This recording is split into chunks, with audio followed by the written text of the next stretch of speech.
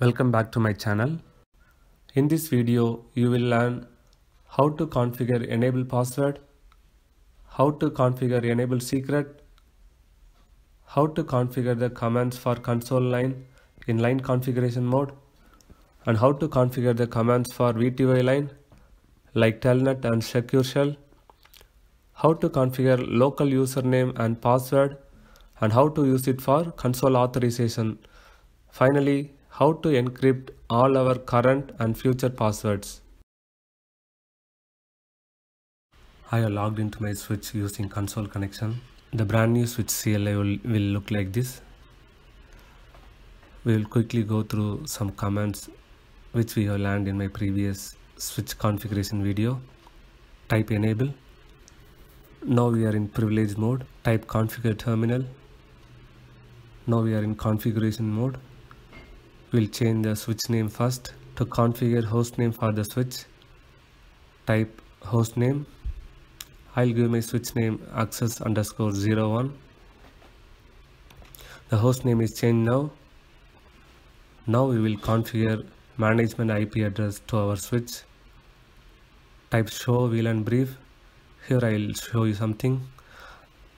In a brand new switch, all the ports will be tagged with VLAN 1. I did not configure any VLAN, but already VLAN 1 is there. So we'll configure the management IP address in VLAN 1. Okay, now go to global configuration mode. Type interface VLAN 1 IP address 192.168.1.100 you can give whatever you want and followed by subnet mask 255 255 255.0 and now no shut interface will be shut down until you issue this command. Type exit. We are in global configuration mode now. Now we will set the default gateway. Type IP default hyphen gateway 192.168.1.1 normally this is router's IP in our local network. These three commands I already explained in my previous video. Now we will con continue with the remaining configurations. Next thing we are going to configure enable password. Okay. Now let me exit from this enable mode. If you want to go to enable mode type enable. Now there is no password in enable mode. Okay. Now we will force it to use the enable password. Go to global configuration mode. Type this command enable password. Okay I'll give my password password. Okay now I will go back and check. Type enable to go to enable mode. Now it's asking for password. We will check our running configuration now. Show run. We can see our password here. It's a plain text. Anybody can see that? It's not secure the next one we will configure enable secret password. Go to global configuration mode. Type this command enable secret. I'll give the secret password as Cisco. We'll go back again and check. Type enable to go into enable mode now it is asking for password. Okay. We'll try with our enable password first.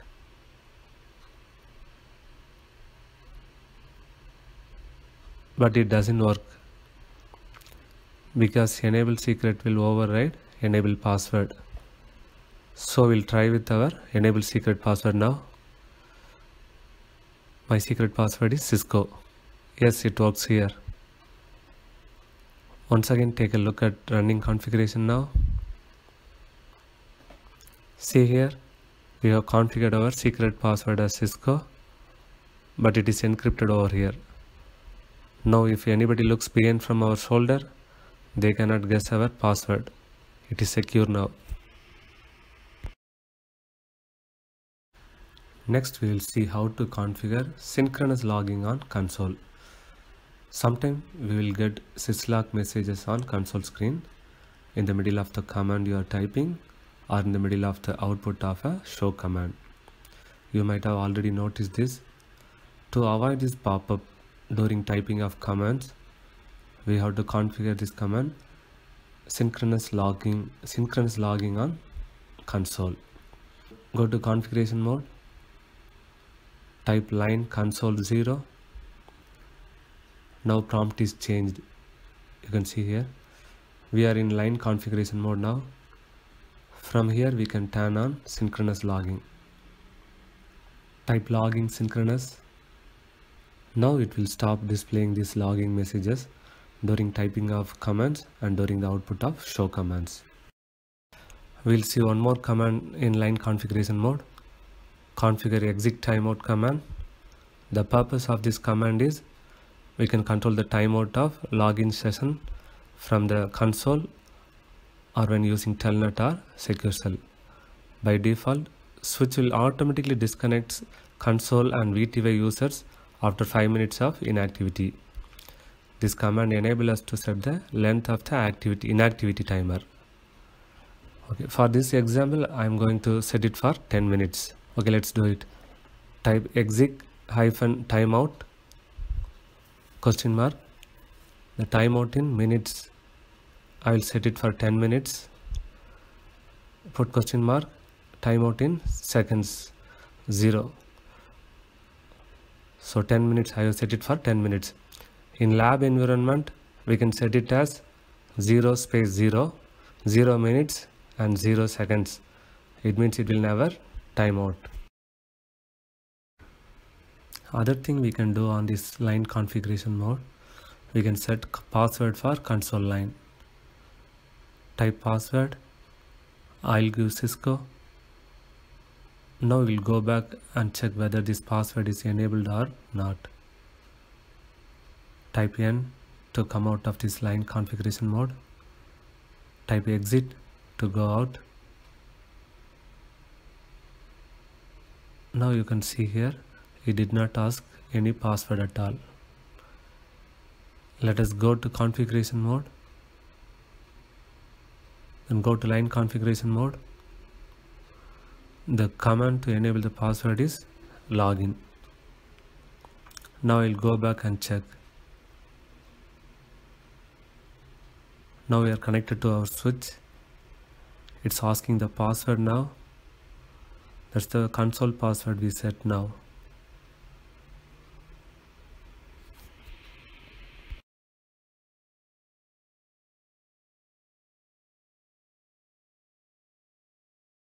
now we will go to other line.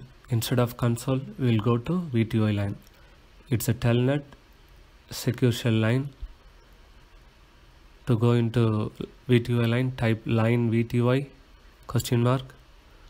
We have 16 line 16 lines here 0 to 15 we'll configure all those lines. Commands are almost same here like in console line. Now configure synchronous logging type logging synchronous. We'll set exec timeout again. We'll set it for 10 minutes. I'm going to set a password now. Type password. I'll give Cisco. Type login to enable that password.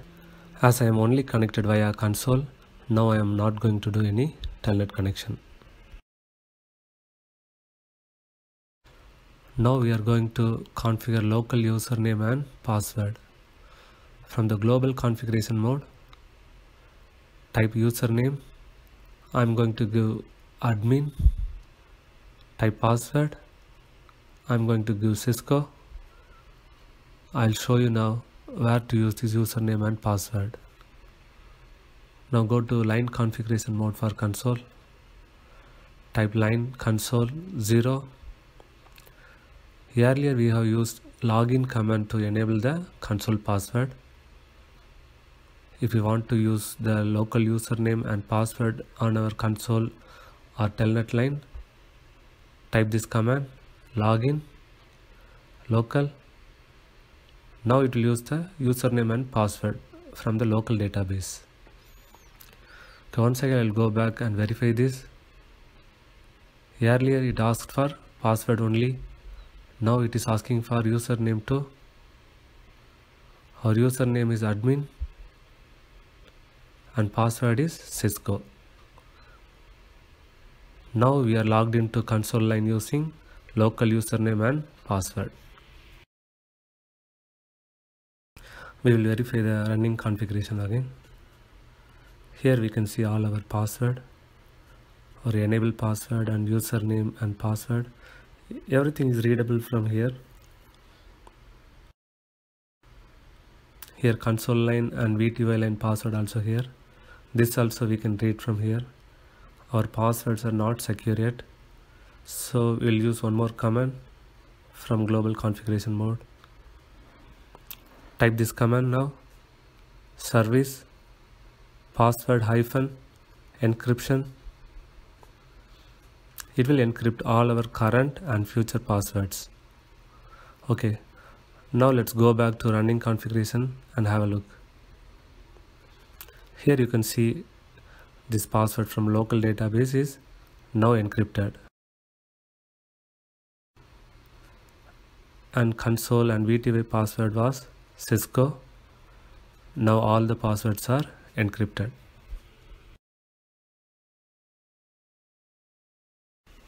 All our configured commands are in running configuration. Now we will check the startup configuration. Show startup config. There is no configuration at all. If we reboot our switch now, all our changes we have made till now will be lost. So we have to save this configuration, save these changes in startup configuration. The command we have to use is type this command. Copy running hyphen config startup hyphen config. It will copy our running config into startup configurations. Press enter to confirm. Okay now we will look our startup configuration now it copied all our running configuration here we can see it copied all our running configuration so far we have seen how to configure commands in console line and VTY line also we have seen how to configure different passwords in Cisco switch and how to encrypt those passwords. Thank you for watching. If you like this video, please subscribe to my channel.